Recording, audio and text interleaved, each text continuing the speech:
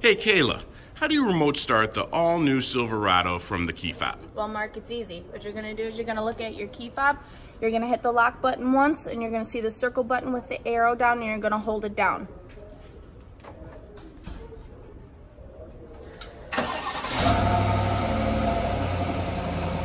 Now, you're gonna have two cycles of 10 minutes. So you hit it once, your car will warm up for 10 minutes.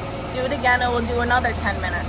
Now, if you wanna shut it off, you're gonna go to your key fob and you're gonna hold the circle button with the arrow down and it will simply shut your vehicle off. Thanks, Kayla. Now I know how to remote start my new Silverado. My pleasure.